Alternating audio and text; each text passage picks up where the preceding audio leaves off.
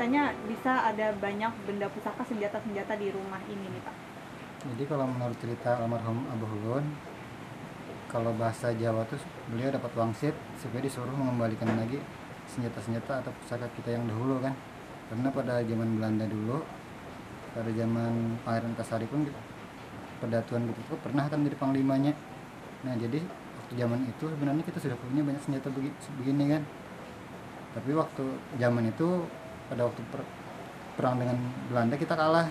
Jadi lari ke hutan jadi akhirnya ber- tercerai berai kan senjata ini terus setelah beberapa generasi ada juga keluarga yang ya keluarga banyak lah yang dijual segala macam. Padahal itu kan pemantang saya pemali kada boleh dijual ini ini nah. Jadi mungkin ketulahan segala macam kan kan.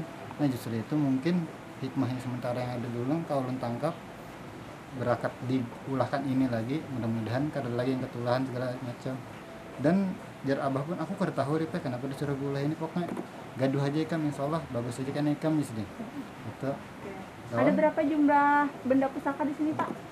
nah kalau masalah jumlah ini lu ingat bener pesan abah dulu nya karena kau dipastikan di sini cuman yang pernah ulun hitung kalau ada salahnya sekitar 700 tapi nya karena bisa keluar atau masuk lagi di sini memang kayak itu nya ini siap. Ini milik Abah Pian semua atau ada eh, dari orang lain? Eh, sebagian besar memang istilahnya milik abah kan milik keluarga kita Nama langsung Abah? Haji Basiruddin tapi ada juga titipan orang lain. Kenapa jadi dititip?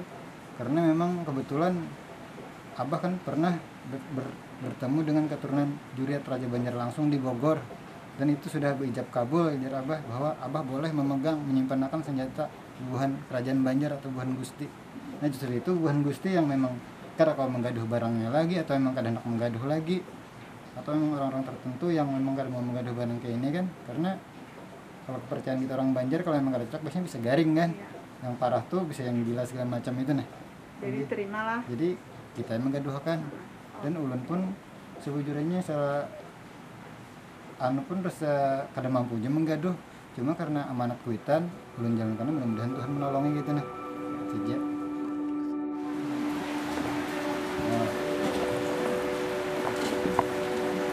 bisa ngisi di bener nih itu aja nih Pak.